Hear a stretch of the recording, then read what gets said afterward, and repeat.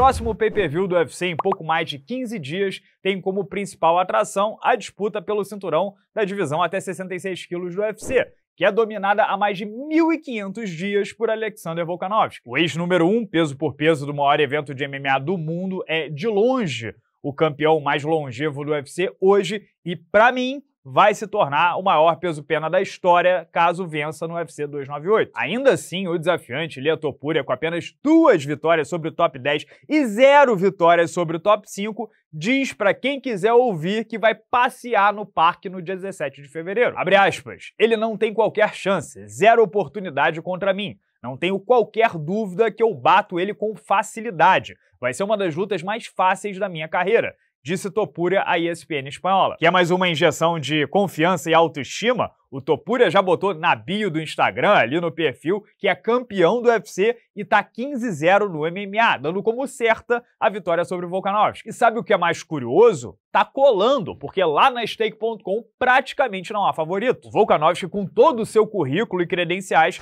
tá pagando R$ 1,82 para cada um apostado em caso de vitória, e o garoto que acabou de chegar, 1,98. Eles estão quase empatados. Então até quem tá casando dinheiro ou tá comprando o que o Topuria tá vendendo, ou vê o mundo da mesma forma que ele. E sinceramente, nesse caso aqui, não é papo de maluco. Dá para crer em troca de guarda só se apegando aos fundamentos. Vamos lá. Olhando primeiro pelo lado do campeão, Volkanovski recebeu uma bela de uma concussão cerebral com um chute alto há menos de quatro meses. E se já parece pouco tempo de recuperação, considere que entre as lutas com o Mahashev e o Topuria ainda teve um campo completo, onde o cérebro do Volk certamente chacoalhou bastante. E a explicação para isso, para mais um retorno rápido a toque de caixa, não é exatamente confortável. Vocês lembram que Volkanovski alegou ter problemas de saúde mental, que fica muito depressivo quando não tem luta marcada. E não tem jeito, uma canelada daquela no coco sempre vai tirar alguma coisa do lutador. É só lembrar como o Kamaru Usman na segunda luta contra o Leon Edwards foi bem menos dominante do que na primeira. O cara ainda vai completar 36 anos e como já disse aqui, nunca em toda a história do UFC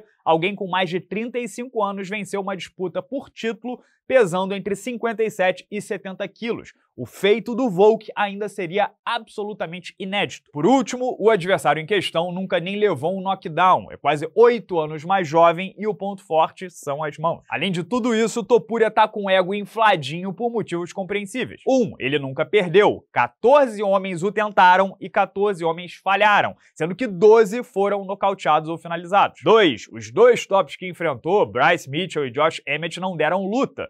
Topuria venceu os sete rounds que fez contra a dupla. No Emmett meteu até um 10 a 7. 3. Ele é o melhor lutador de MMA já saído da Espanha, então é o cara naquele país. Você pega aí, com apenas 3 anos de UFC, ele tem 2.2 milhões de seguidores só no Instagram. É mais que muitos campeões. Para a última luta dele, voaram para Jacksonville, Flórida, apenas Sérgio Ramos, lendário zagueiro do Real Madrid da seleção espanhola, e Fernando Torres, atacante do Barcelona. 4. Topuria ainda treina durante a maior parte do tempo numa academia pequena, a Clement Club. Então ele é ali o cachorro grande diariamente no tatame. Sim, ele faz alguns complementos na Cliff, mas só pisa lá em reta final de camp, ou seja, quando tá na melhor forma possível. É bem verdade que Volkanovski, mesmo numa eventual descendente, é de muito longe o adversário mais difícil que Topuria terá enfrentado. Mas o ego é traiçoeiro, faz você ver o copo meio vazio pro adversário e o seu copo meio cheio. E claro, não adianta adotar um discurso humilde em público por medo de patrulha para ser politicamente correto e por dentro pensar assim, dá no mesmo. É até um mecanismo de defesa, a fé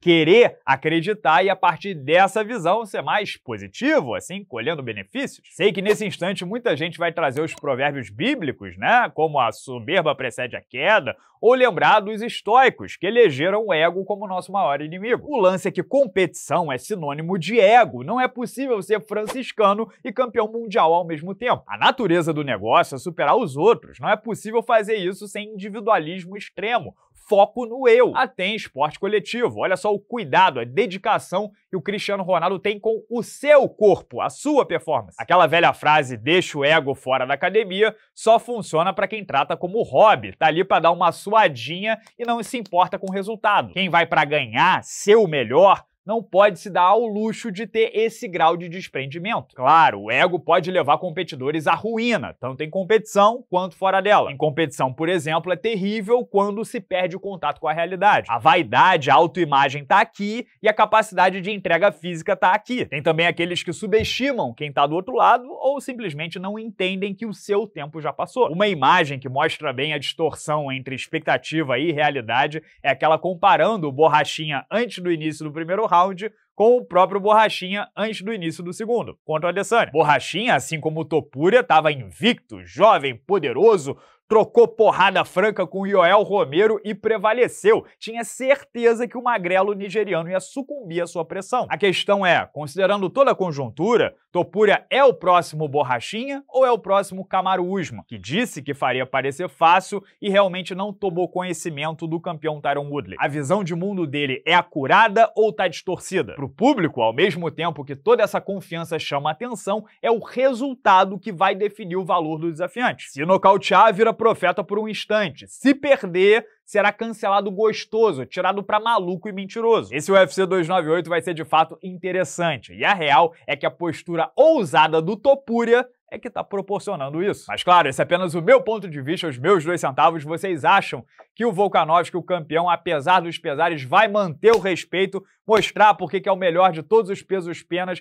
e dar um safanão do garoto ou não tem jeito, né? Vamos ter uma troca de guarda, um conflito de gerações e que a mão dura vai pegar e o coroa não vai mais não vai mais suportar. Comente livremente aqui embaixo no vídeo, deixa o like aí, por favor, para a gente continuar circulando pelo YouTube e não perde a resenha de ontem em que eu falei sobre Conor McGregor botar a cabeça na boca do lobo, como essa é a única saída para ele, para o UFC, para Dana White e para os seus adversários, como ele tem que voltar a ser o velho Conor McGregor tomador de risco já para abril.